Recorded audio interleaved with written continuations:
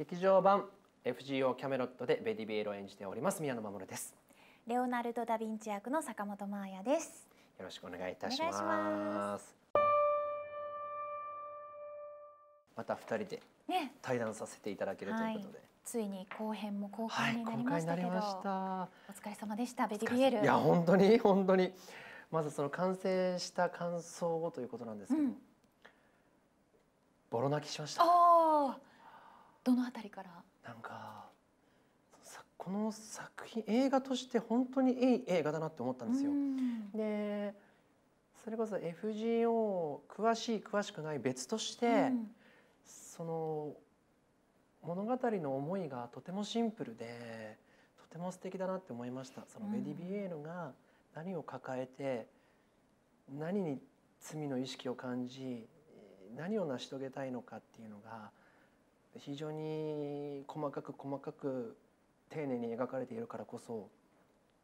ベディビエールが一つ一つ見つけていく瞬間とかに、うん。演じていた僕としては涙が溢れてきてしまってもう中盤からずっと泣いてて、えなんか藤丸がーうん。ベディに「ベディの旅は意味があるよ」って言ってくれて、でベディが涙ががポロってこぼれて前を向くシーンがあるんですけど僕そこでやっとこうやっと本当の意味で前を向けたベディビエールがいて、そこがすごくグッときましたね。どうですか？いや確かにあの、まあ、台本ももちろん読んでねアフレコしている段階でいろいろ分かってたはずだけど、やっぱ映像が完成して、まあ、音楽もついてそしてあのアフレコの時どうしてもねあのこういう状況下でみんなと一斉に撮れなかった今ので、回はね、あのやっぱり作品になって初めて聞くいろんなキャラクターの声もあって。で全部が噛み合ってみると本当にラやっぱりラストシーンの獅子王とベディビエルの美しかったですね。うんすごい綺麗でしかも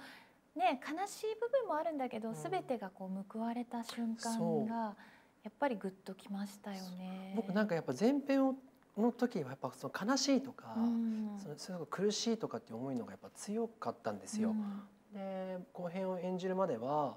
やはりこれは食材の旅でこうまあこの状況になってしまった自分の罪をどう償っていくのかの苦しい旅路、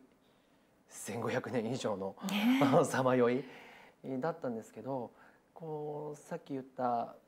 藤丸との出会いとか周りとの出会いのおかげでアーサー王にまっすぐ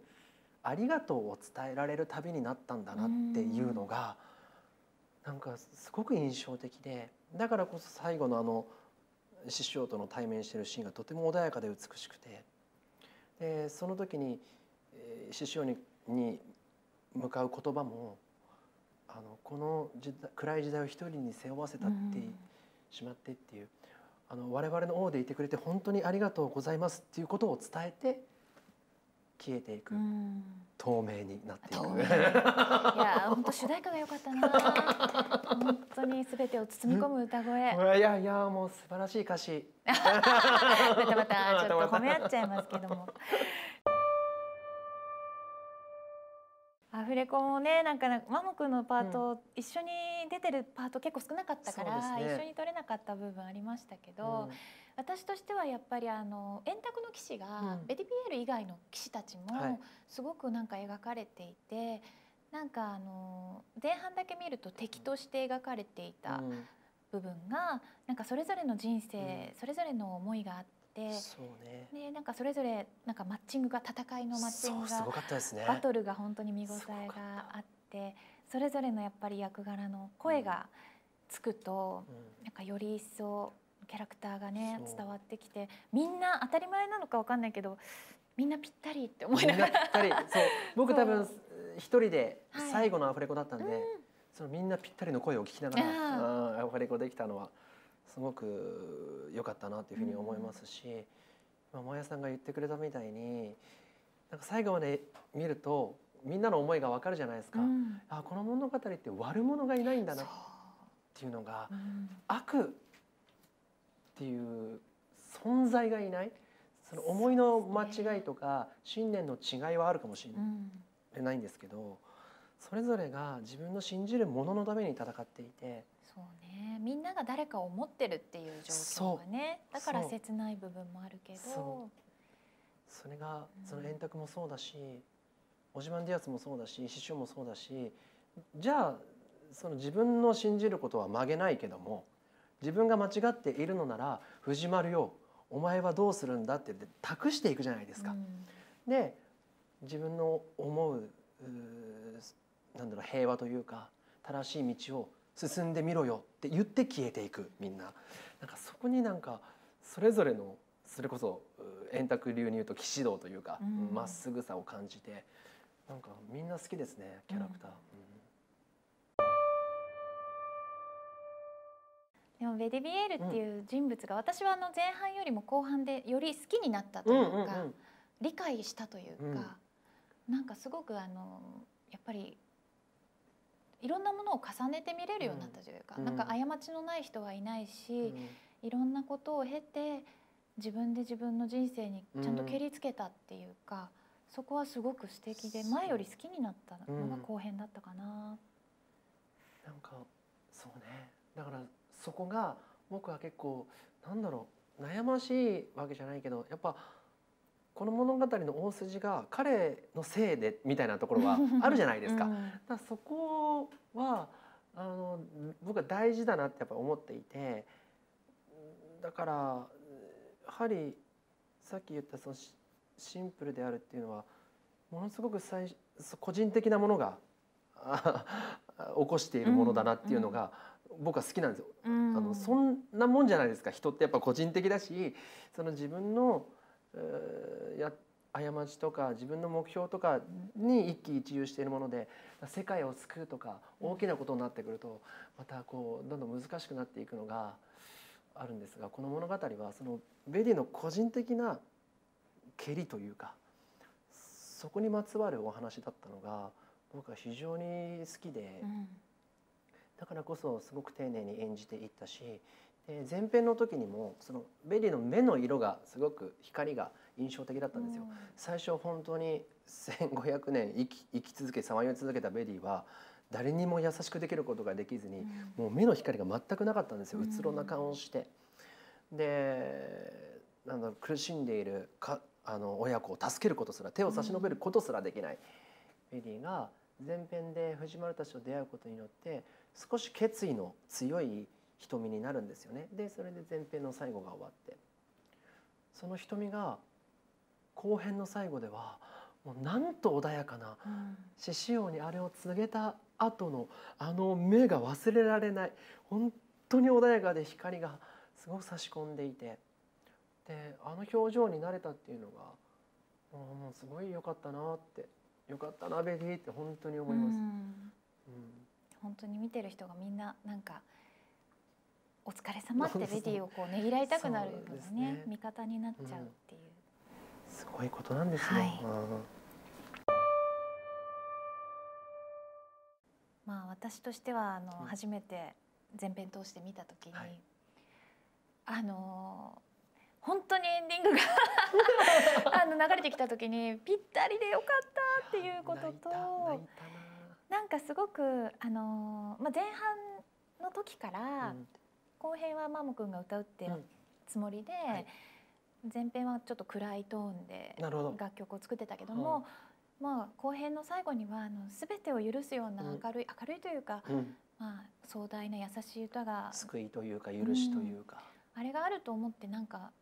安心して前編をハードに描けた部分もあって「だから透明」っていう曲がすごくねきっと劇場でご覧になった方もあのゆ余韻を味わえる曲になっていたのはすごく良かったしやっぱうんマモくんがすごくベディビエールの声でもありうん。うん宮野真守としてのなんか歌声でもあってすごく素敵でした。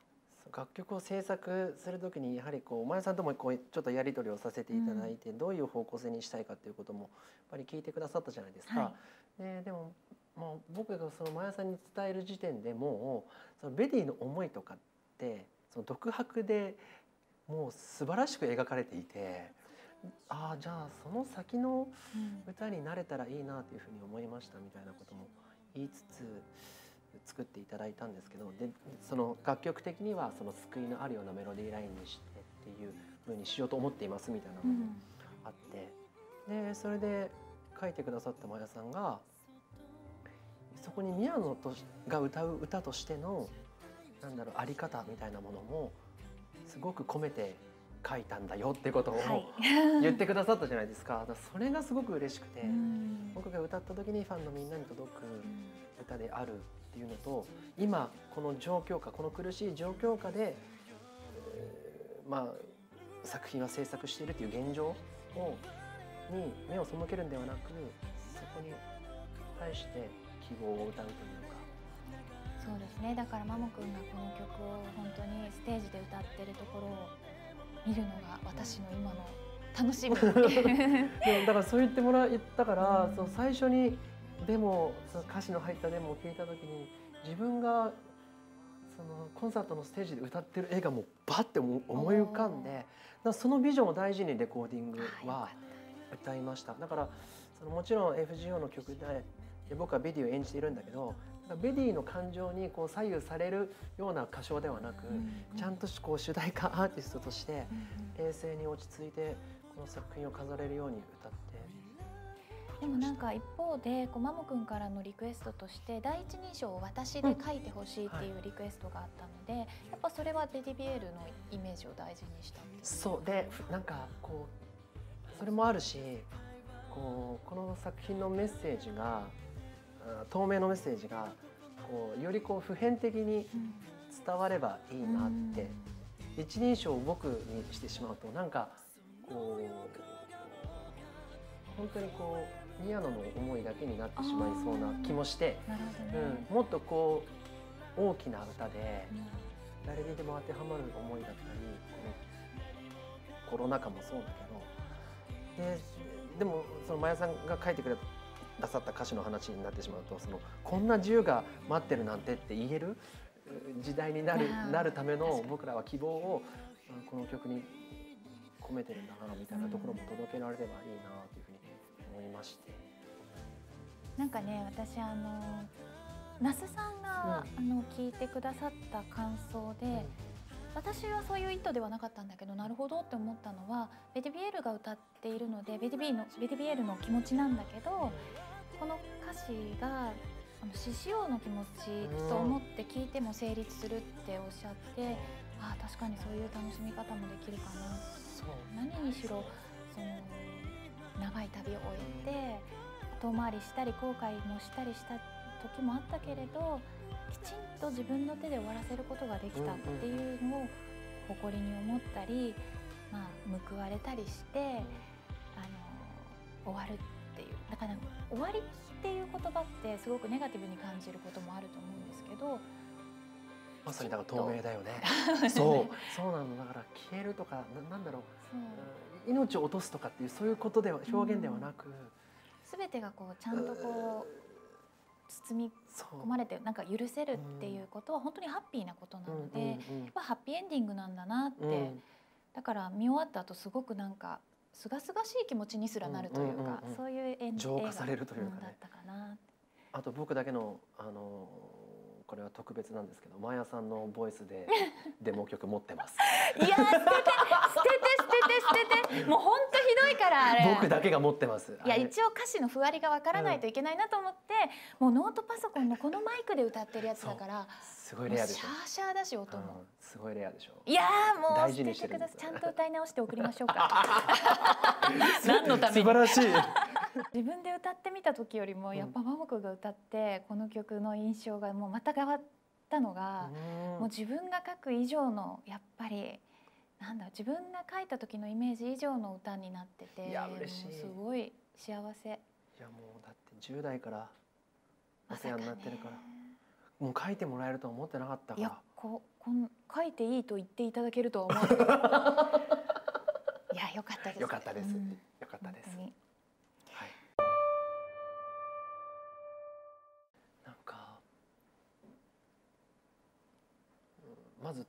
透明っていう表現が本当にすごいなって。最初多分僕がデモ曲で仮でお渡ししていた仮のタイトルは違ったんですよ。はいはいででもそこも組んでくれてブレスブレッシングライトって入れてくれてるんですけど、はいその祝福とかあの福音とかその慈悲のある、うんまあ、そういう歌にしたいっていうのがあったので、はい仮タイトルがついてたんですけどでそうなんかあの実はあの FGO ってずっと漢字2文字のタイトルでやってきちゃって、でそれは私が歌うようなまた2文字なんだけど、マモ君にまでそれを強要するつもりはなかったので「透明」ってタイトルは1案で、うん。もう一つ英語のタイトルとかいくつか投げてたたんですけどまあそれをマモ君が「透明」ということで、なんか漢字2文字シリーズ引き継いでくれて、うん。なんか強制したかなとか思いながら。なんかねすごく震えたんですよ。なんか僕はそのこの曲とか世界観を表現する時にあのいわゆるそういうバッチリくる言葉っていうのはやっぱ思い浮かばなかったんですけど、うんこの曲を全て聴いた上でじゃあタイトル「透明です」ってなった時にこれ以上の言葉ないなって本当に思ったんですよね。うん、嬉しいですね。でだ物語がさっきも言ったその消えていくう物語ではあるじゃないですか。命というか存在も全て。それをなんだろうこんなにも美しく表現できるのかと本当に思ったんですよね。でも歌詞にもしっかりこう強くあこんな気持ちで終われるなんてって終わりっていうこともしっかり言っているし。なんでもそれは作品にもとても寄り添っているがそれもあったからこそ僕はあのコンサートの最後で歌いたいって本当に思ったんですよ。嬉しい。きっとこんな気持ちで終われるなんてって思うなって思ったんですよいや。もうまさにちょっとマモくんがわかんないですよ私がもう勝手に思ってることだけど、本当にアンコールも最後の最後の曲でなんかもう「あのー」とか言われてるファンの方の歓声が聞こえて、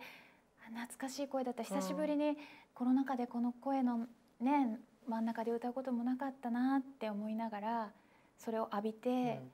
そして自由に愛する人に愛を告げて、うん。今、まあ、たくさんの人に感謝の気持ちを込めて、ステージを幕を閉じようとしてる宮野真守を想像しているだけで泣いてました。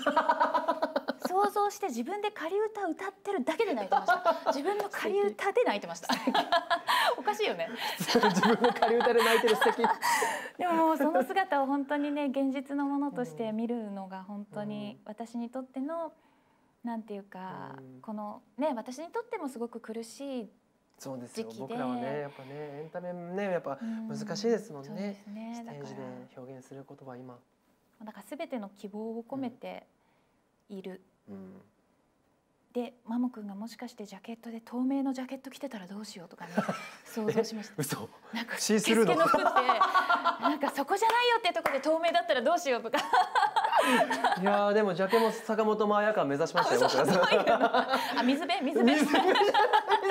ぐ水辺立たされがちだから。あそうです。だけどここなんか透き通るこうなんだろう洗練された。よかった透明ではなくて服が。でもね透明なんですよ。見てほしいわ。心が綺麗な人にだけ見える。そうそうそう本当は服が見えるじゃないよ。そうですか。楽しみにね、本当に。はい。あでも見てほしい。なんか合成なしで自分の体が透けてるような。え本当？あちゃんと見るわちゃんと。でそこに景色が投影されてる透けてるようなうんそんな幻想的な、はい、楽しみ。に幻想的な坂本真綾をなんでねこう作られた坂本現実ではない。いやいやいや、はい。僕らの思いが詰まった作品でございます。ね本当に。でもたくさんの人がはい聞いてくれたらはい嬉しいですね、嬉しいです。劇場版フェイトグランドオーダー新生円卓領域キャメロット後編パラディンアガートラム全国劇場で公開中です。ぜひご覧ください。